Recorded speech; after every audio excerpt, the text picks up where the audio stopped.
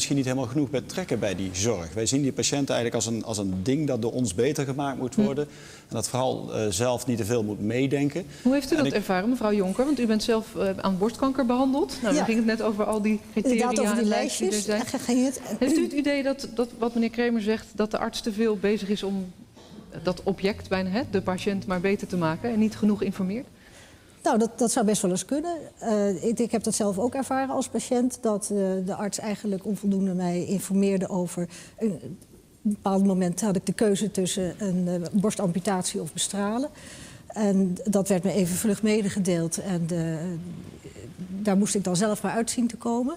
Nou ben ik een redelijk mondige patiënt, want ik zit zelf in het medisch onderzoek. Dus ik kan dan t- op internet wel de literatuur erbij pakken... om te kijken wat dan mijn keuze is. Want u bent niet naar het ziekenhuis bij u om de hoek gegaan, hè? Ik wat ben niet naar het ziekenhuis om normaal de hoek gegaan toen ik eh, de diagnose kreeg, of tenminste het, eh, de uitslag van eh, het borstkankeronderzoek.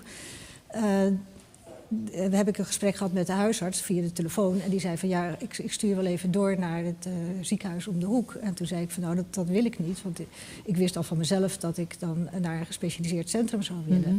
En dat heb ik toen ook gedaan. En dat was verder ook helemaal geen probleem. En het is ook goed gegaan. En het is allemaal verder goed gegaan. En Gelukkig. maar de, de, de openheid had misschien wel, ja, de informatie had misschien wel beter gekund. Aan de andere kant vond ik, eh, doordat ik die ziekte kreeg. Was, en toch was u niet tevreden. Dat is, stond misschien bovenaan de lijst voor borstkankerbehandeling. Maar u zegt net eigenlijk van ik ben eigenlijk niet goed voorgelicht. Nee, ik, was niet goed voorgelicht over de, over, de, over de keuze binnen dat ziekenhuis. Tussen de twee eh, behandelmogelijkheden die dus allebei dezelfde overlevingskans hebben. Aan de andere kant, als ik had geweten eh, dat, eh, die, eh, dat er zo'n lijst was van, eh, van de bo- borstkankervereniging, dan had ik daar wel degelijk op gekeken om te kijken van hoe die ziekenhuizen allemaal functioneren. Ja. Want die hebben die geven dan eh, informatie die aangeleverd wordt door de ziekenhuizen zelf over het aantal eh, operaties die een ziekenhuis doet op het gebied van borstkanker. Maar mevrouw Jonk, als je nu hoort over die lijstjes waar meneer Van Gerven het net over heeft... Ja. talloze lijstjes over borstkanker, wat wel, wat niet. Het Ja, ene dat- ziekenhuis komt ergens goed in uit... terwijl hetzelfde ziekenhuis een Nou, ander lijstje juist slecht staat. De- de- dat lijstje ik van, van CZ heb ik nooit bekeken, maar het, eh, het lijstje van de borstkankerverenigingen heb ik Maar wat uitgebreid had u dan op dat lijstje willen zien op basis waarvan u besloten had om voor dat ziekenhuis te kiezen? Om Nou, ik heb, ik, heb, ik heb die keuze zelf gemaakt Ja. omdat ik eh, eh, per se naar de Daniel de Hoed kliniek Ja. wilde. Maar ik kan me voorstellen dat als je niet in het medisch vak zit zoals ik, maar een, een patiënt bent die minder kennis van zaken heeft, dat je dat graag samen met je huisarts zou willen bekijken. En die kan je dan zeggen van nou kijk, dus, je hebt het ziekenhuis om de hoek en dat is praktisch, want het is dichtbij.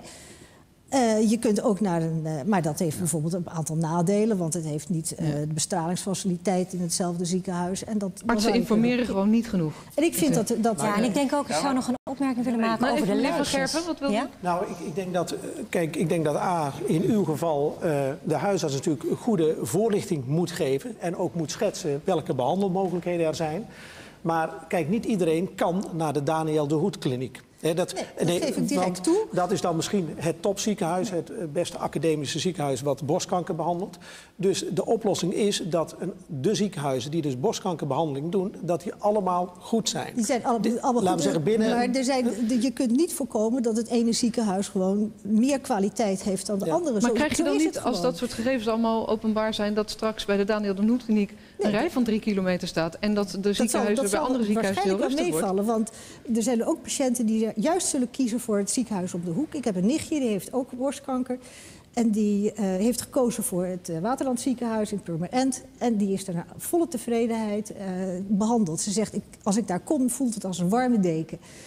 Ze weet ook dat eh, het multidisciplinaire team de, alle patiënten bespreekt samen met het Antonie van Leeuwenhoekhuis en met het VU ziekenhuis. Dus die voelt zich daar helemaal veilig. Ze zegt, ik vind het ook prettig om daar behandeld te worden. Nou, even het punt wat u maakt. Hè, van, ik zou eigenlijk willen dat artsen meer informatie ook geven... waarop ik mijn keuze kan baseren. Ja. Als u nou, mevrouw Vogelen, komt met, met lijsten die openbaar zijn... waarbij patiënten dingen kunnen, kunnen zien... Ja. denkt u dan dat artsen daardoor meer informatie gaan verstrekken? Die denken, Nou, nou, ja, het is te vinden op internet. vijf jaar eh, hebben we de discussie heel veel gevoerd aan tafel. Zeg maar buiten het zicht van al dat publiek wat erbij is. En waar het feitelijk om gaat. Ehm, en dan blijven we zitten in de discussie. Ja, maar de patiënt weet niet wat goed is. En ja, de patiënt kan het toch niet interpreteren. En de patiënt heeft niet gevraagd om 109 indicatoren.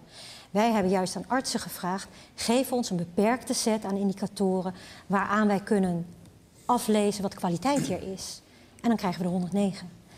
Dat is juist jammer. En dan komt u met nog eens een lijst juist- eroverheen. Nee, want wat wij vragen is juist een lijst die gezamenlijk is opgemaakt, waar artsen ook achter staan, zodat er niet verschillende lijstjes komen.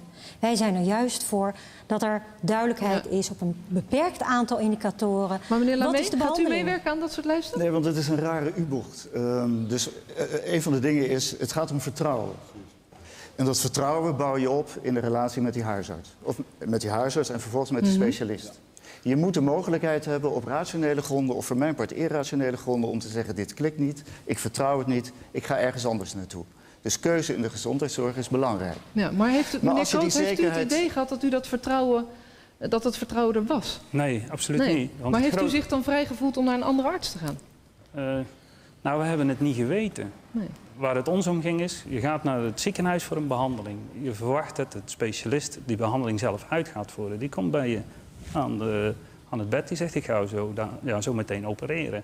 Maar het blijkt nu bij ons gebeurd te zijn, daar zijn artsassistenten bij betrokken geweest... die niet genoeg ervaring hadden.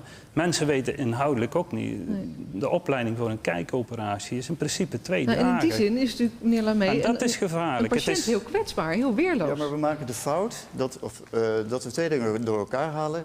Er gebeuren fouten in de zorg, zoals overal fouten gebeuren.